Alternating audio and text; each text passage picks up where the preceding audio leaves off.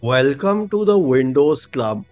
If Outlook 365 is flickering and flashing, then either read through this article on the website or simply watch this video. I will guide you to the resolution.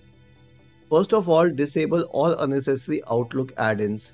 Open Outlook, click on File, select Options, go to the Add-ins tab on the list on the left hand side, select Manage at COM add-ins, click on Go, and you can uncheck add-ins from here and or you can also click on remove to remove a certain add-in. The next solution will be to change Outlook display settings. This has been explained over the next solution here. Right click on the start button and select in the settings window go to the system tab on the list left hand side.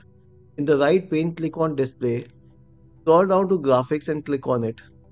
After this scroll down to office you won't have a specific app for outlook but for office itself click on it select options. Make sure that this is checked at let windows decide and then click on save. The next solution will be to update the graphics driver.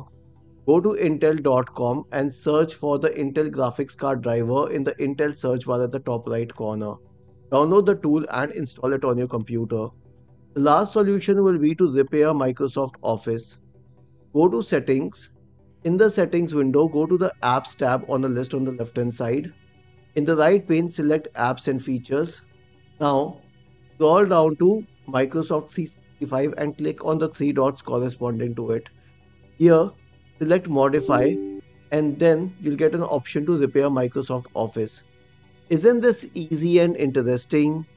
If you have any doubts, please go to the original article on the Windows Club Scroll down to the comment section and write your query.